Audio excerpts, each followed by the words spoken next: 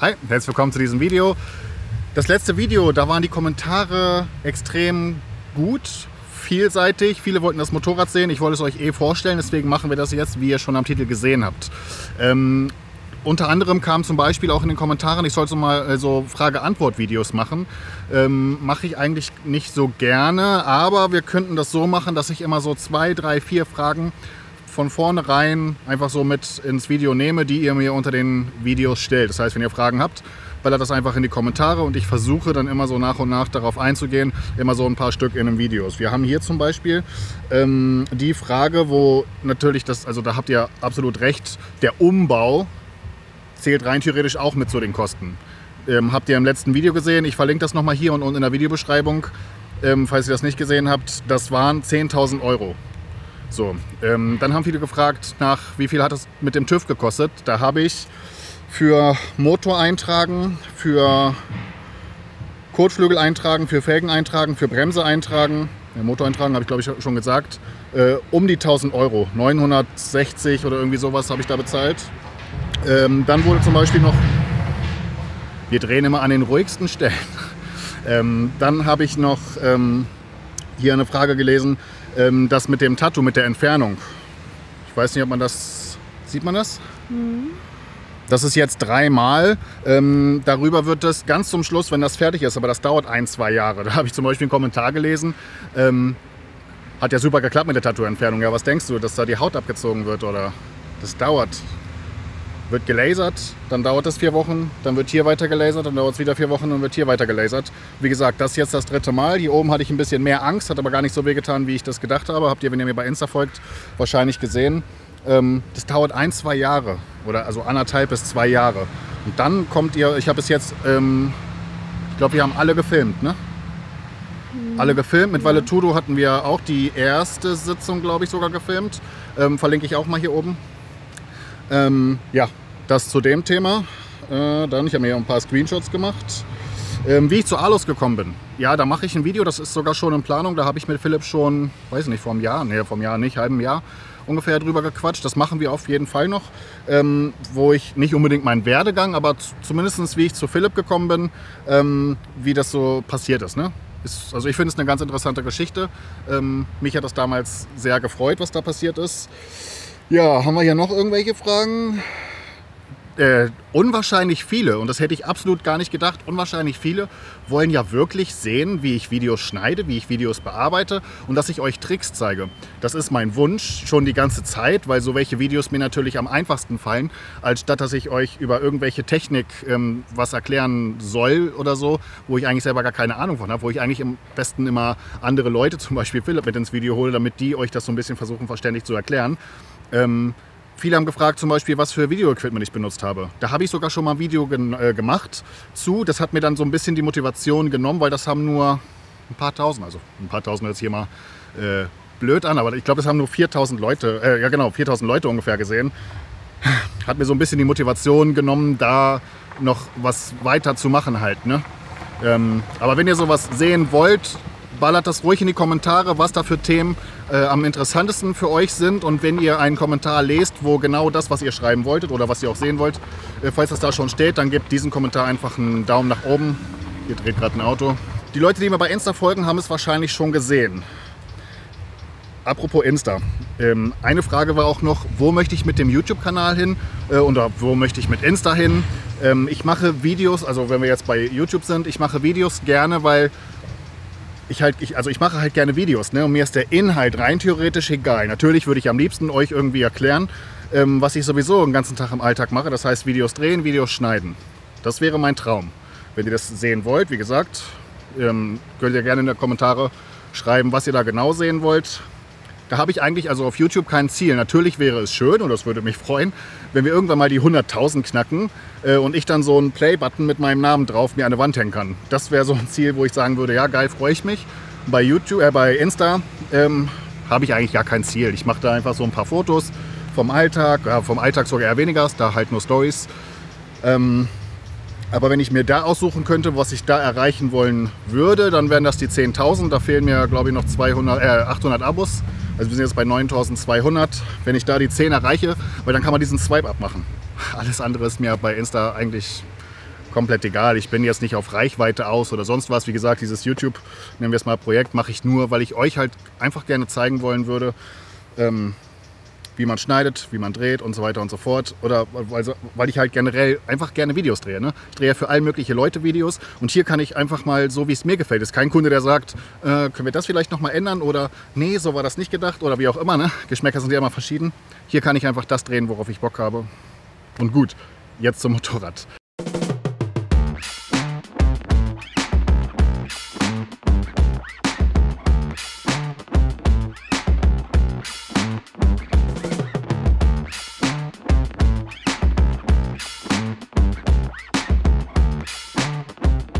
So, wie ihr gesehen habt, ist eine Yamaha R1 geworden.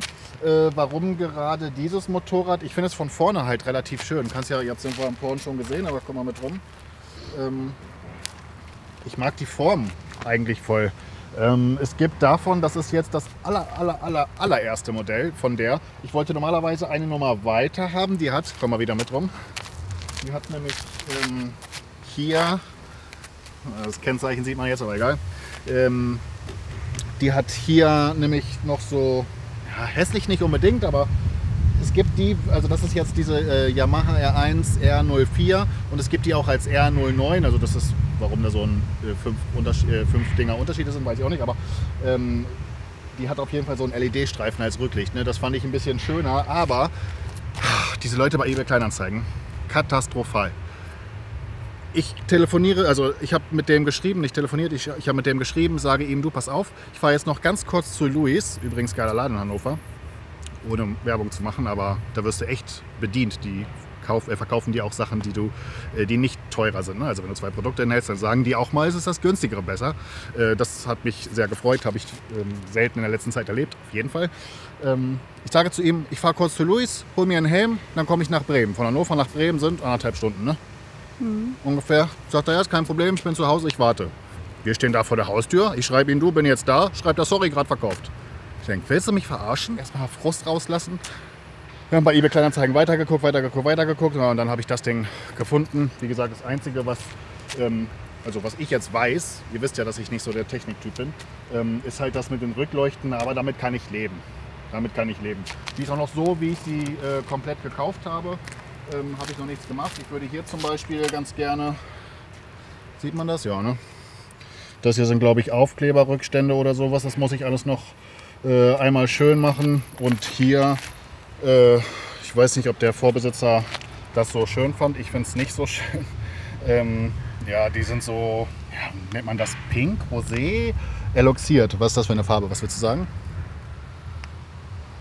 Silberrosa sieht das gerade aus. Silberrosa. Keine Ahnung, die müssen auf jeden Fall noch schwarz. Ähm, Gibt es ja zum Glück alles bei Alus im Programm. Ähm, da will ich mir von Alus dann auch noch ähm, diese Dinger hier holen. Äh, die will ich mir noch holen in schwarz. Dann sollen, ähm, die sind hier für einen Motorradständer. Würde ich mir auch gerne holen, habe aber keine Garage. Das heißt, das wäre unnötig. Aber ich will zumindest die Aufnahmen. Entweder mache ich sie ab oder aber in schwarz, orange, weiß nicht. Nee, orange passt nicht in schwarz wahrscheinlich. Sonst hat das äh, Motorrad keine Macken. Das hat äh, 57.000 Kilometer runter. Das ist schon echt puh, äh, für ein Motorrad eigentlich ein bisschen viel. Aber das Ding ist 20 Jahre alt, ne? also Baujahr 2001. Aber es macht wirklich, wirklich Spaß. Also ähm, die hat 100, 1000 äh, Kubik, 150 PS, aber es macht wirklich Laune. Einfach, du kannst damit um Kurven pesen. Und hier sind übrigens äh, viele lächeln mich ja immer noch wegen den Reifen. Die sind übrigens immer noch drauf. Ich hatte einen Platten die Tage und habe wieder nach Achilles bestellt. So ein Chef bin ich. nee, aber ihr wisst es, ich bezahle für den Achilles, bezahle keine Ahnung, einen Hunderter oder so. Ähm, den mache ich jetzt einfach erstmal neu, weil ähm, ich will ja kleinere Felgen fahren. Ne? Ich weiß nur nicht, ob ich kleinere Felgen nur für die Rennstrecke fahre oder kleinere ähm, Felgen generell fahren möchte. Eigentlich würde ich die 20 Zoll für den Daily-Betrieb schon ganz gerne lassen und mir dann ähm, Michelin Cup 2 für die, für die Rennstrecke holen. Aber dann trotzdem im Alltag halt die Michelin Pilotsport 4S. Weiß ich aber noch nicht so ganz genau, wie ich das alles machen soll. Und bevor ich jetzt erstmal 1000 Euro, die du ja auch erstmal, äh, haben wir ja beim letzten Video schon besprochen, die du auch erstmal verdienen musst, ähm, bevor ich die jetzt in Sand haue und dann vielleicht doch andere Felgen hole, ähm, kommt einfach erstmal wieder ein High-Performance äh, Achillesreifen drauf. Gibt es zu dem Motorrad noch was zu sagen? Ähm, ich will hier, ähm, nennt sich das, oh, wie heißt denn das? Ventilsitze? Ventilsitze, irgendwie sowas. Da ähm, wurde mir gesagt, soll ich mal nachgucken. Okay, ich kann es nicht. Also ich werde mal nachgucken lassen, ob das noch ähm, okay ist. Sonst gibt es zu dem Motorrad eigentlich auch gar nicht viel zu sagen. Wie gesagt, hat um die 57.000 Kilometer runter. Ähm, hier sind Michelin. Welche sind denn das? Wenn man keine Ahnung hat. Ja, da sind Michelin-Reifen drauf. Welche weiß ich nicht. Aber zumindest schon mal Michelin ist schon mal ganz gut. Ähm, ja, es macht halt wirklich Spaß. Ne? Das Einzige, was mich so ein bisschen stört, ist, dass ich in meinem Bekanntenkreis, mal fährt ein Ludwig fährt, ne? Motorrad. Haben wir sonst noch irgendjemanden, der Motorrad fährt? Monika. Monika, schöne Grüße. Das Also- keinen. Hä? Sonst kenne ich auch niemanden. Ja, also ich muss halt immer alleine fahren. Ne? Ich habe jetzt, mir? Nelly- ich hab jetzt Nelly überredet ähm, die Tage, ähm, dass sie mit mir mal ein bisschen dreht. Es macht Spaß, oder? Man muss sich dran gewöhnen, aber Man muss sich dran gewöhnen, ja. ja. Fällt dir noch irgendwas ein, was die Leute interessieren könnte zu dem Motorrad? Du hast wahrscheinlich noch weniger Ahnung wie ich, ne? Das ist richtig. Ähm, ja, noch was, das hat zwar eigentlich mit dem äh, Video nichts zu tun, aber ich habe das Motorrad geholt, zeigt der Besitzer mir seinen Fahrzeugschein, also den Fahrzeugschein, sagt, ich packe dir den hier wieder rein. Ja, ja, ich mache zu Hause das Ding auf, kein Fahrzeugschein da. Was meinst du, was ich für Probleme dann hatte bei der Zulassungsstelle? Weil dann musste erstmal eine Million Unterschriften machen, dass das Ding verloren ist und so weiter und so fort. Dann hieß es, ja, hat der, haben Sie das verloren, hat der Besitzer das verloren und so weiter und so fort. Ja, naja. Äh, will ich noch irgendwas machen? Ich würde den Rahmen ganz gerne, das wolltet ihr ja wissen, was ich damit vorhabe. Ähm, das sind nur, wie gesagt, nur so Kleinigkeiten. Ich muss mal einen Ölwechsel, will ich mal machen. Ich weiß nicht, wann hier der letzte Ölwechsel gemacht wurde. Vorne die Dinger sollen neu, hier soll das sauber gemacht werden. Und den Rahmen hätte ich ganz gerne schwarz. Ich weiß, dass es, ich hatte mal bei Insta geschrieben, äh, dass ich die ganz gerne in so einem Alus Racing, es gibt ja so Racing-Karren von Alus, ähm, also wir haben ja ein eigenes Rennteam, ähm, Motorräder und da sind die Karren alle weiß. Und dann ist hier so ein fettes S drauf. Finde ich irgendwie cool, aber alle sagen, ah, bei einer R1 kannst du das nicht machen. Warum nicht? Das ist mein Motorrad. Klar kann ich das. Ähm, aber ich bin mir wirklich noch nicht sicher, ob ich das mache. Was ich auf jeden Fall machen wollen würde, über den Winter eventuell, ist den Rahmen hier in schwarz. Weil ich weiß, das gab es auch original. Ähm, zumindest bei der R09, bei der R04, weiß ich nicht, ob es das da auch original gibt. Und was ich noch machen muss, da mein Oberkörper so relativ schwer ist, sage ich mal, weil ich halt ein bisschen dicker bin. Ähm, wenn du fährst nach der dritten Ampel bei dem Lenker, tun dir die Handgelenke übertrieben weh. Ähm, ich habe jetzt vom äh, Basti, also das ist auch einer, der bei Alus arbeitet, der fährt genau die gleiche. Ähm, er meinte, einfach den Lenker umbauen. Da gibt es wohl so ein Umbaukit, hat er bei sich auch gemacht. Das mache ich vielleicht auch noch.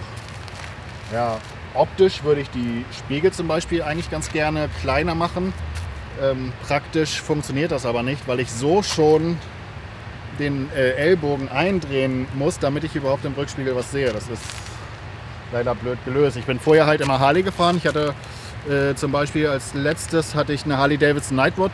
Das ist halt so ein richtiger Shopper, ne? mit so einem 300er, 300er Reifen war das, glaube ich.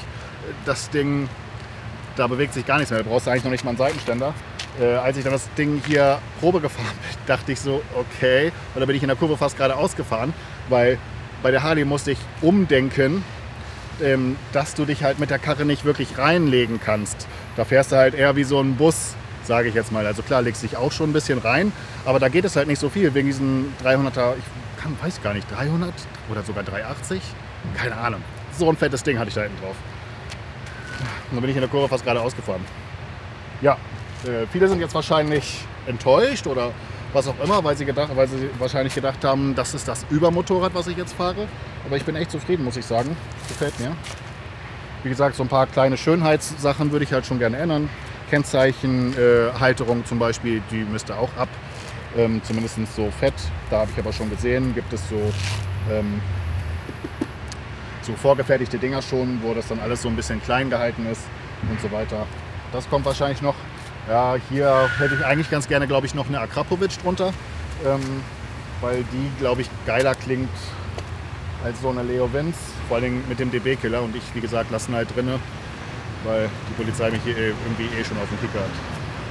Ich würde sagen, das war's mit diesem Video. Wenn ihr noch irgendetwas wissen wollt zu der Karre, schreibt es gerne mal in die Kommentare und ich versuche alle möglichen Leute zu fragen, ähm, die mir dann diese Frage beantworten kann. Ich hoffe, es ist kein Problem, dass ich das Video nicht so technisch gemacht habe, aber ich kann das Ding fahren. Ich kann auch nicht mal Kette einstellen oder sowas, muss ich ganz ehrlich zugeben. Ich bin halt nicht der Schrauber. Wir haben das Gewinnspiel noch vergessen. Mhm. Ähm, die Feder im letzten Video. Da, warte, wie machen wir das? Ich Will lass, eine dich, ich, ich lass dich wieder raten. Ich gucke mal ganz schnell, wie viele Kommentare aktuell sind. 324 Kommentare sind aktuell. Äh, Das heißt eine Zahl zwischen 0 und 324. 115. 115. 15, genau. Ähm, äh, dann von oben oder von unten?